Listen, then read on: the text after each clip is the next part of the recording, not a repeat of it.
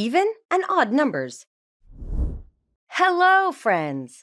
Today, we are going to learn more about even and odd numbers. We are going to ask our friend Frankie to help us out and do some math exercises together. Ready? Let's get started. Numbers are everywhere, whether it is in your math class, on the speed limit sign on the side of the road, or on price tags at your favorite store. All numbers can be separated or classified into two groups odd numbers or even numbers. Even numbers are 2, 4, 6, and 8. Zero is also considered to be an even number, but we will learn more about that another time. Odd numbers are 1, 3, 5, 7, and 9. The difference between these two types of numbers is that odd numbers cannot be divided into two equal parts or groups, but even numbers can. Let's look at an example. Frankie has taken us to her family's farm today. She has six apples that she has picked from her apple tree.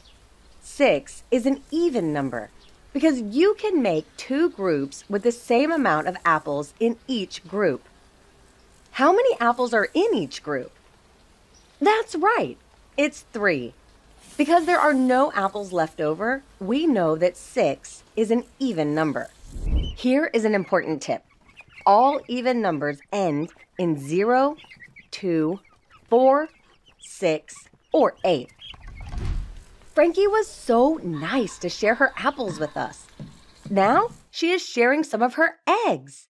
Frankie has five eggs total. Odd numbers cannot be evenly divided or split up. Five is an odd number because you cannot make two groups with the same amount of eggs. Instead, you have two groups of two eggs each, with one egg left over. The poor lone egg does not have a buddy. That is how we know for sure that 5 is an odd number. Here is another important tip. All odd numbers end in 1, 3, 5, 7, or 9. Let's see if you can identify even and odd numbers all on your own. There are four tractors out in the field is 4 an even or an odd number? If you said even, you are correct.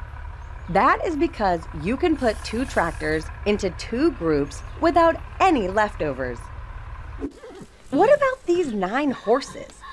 Frankie wants to make sure that they have enough space in the barn. She needs to figure out if she can separate them into two stalls, or if there will be a horse left over. What do you think? Is nine an even or an odd number? Yep, it's odd. Frankie can divide her horses into two groups of four with one left over. Looks like she will have to find some more space in the barn. Are you ready for a bonus question? Frankie needs our help one last time. She has 17 cows and needs to know if 17 is an even or an odd number so she can know where to let them graze. What do you think? Do you remember the important tips we shared with you earlier? Think about which kinds of numbers always end in 0, 2, 4, 6, and 8, and which numbers always end in 1, 3, 5, 7, or 9. Did that hint help?